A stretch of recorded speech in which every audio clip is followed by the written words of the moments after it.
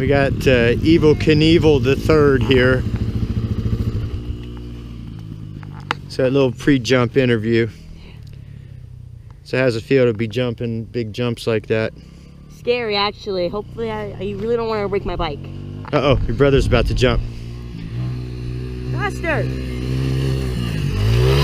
Woo, he almost, he got a little side, he's trying to do one of those sideways things, you know?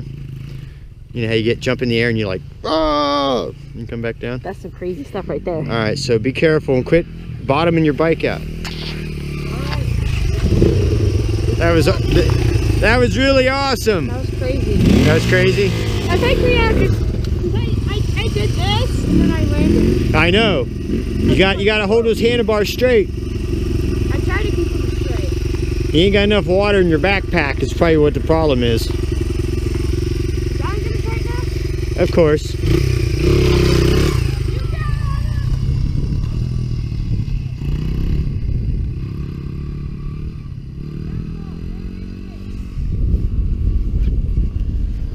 I guess he's gonna try this line.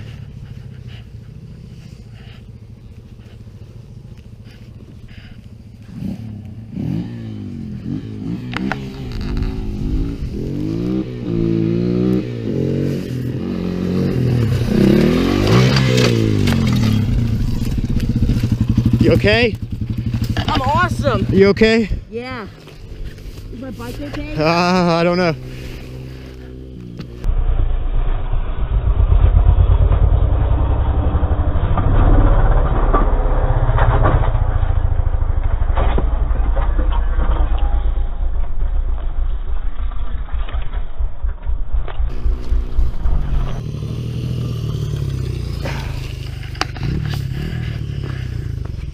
Little help, little help.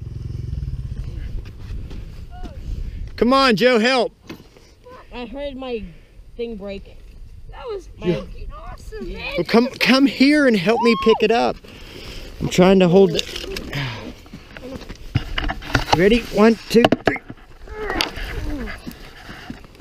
Put the kickstand down. Right out. I'm, we had armor on. Oh, he broke out his headlight.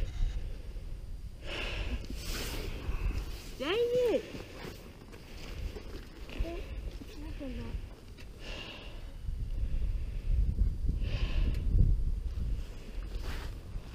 I feel like Evel Knievel right now. Oh, You shouldn't have did that. you can't call me a chicken. All right, just be quiet. Are you okay? Is this still okay? No. Are you okay? I'm better than okay. I'm awesome. You're not hurt? I I hurt a little bit, but I'm fine. I'm so happy that my helmet was on. Oh, you Oh, broke you're out your kidding me. headlight. Hopefully you didn't bend your handlebars or How far did I leap? I don't know, but you came down hard on that front tire. I think we can glue this back together? Nah. Or just leave it like this? Yeah. Phew. I didn't want to record your wrecking.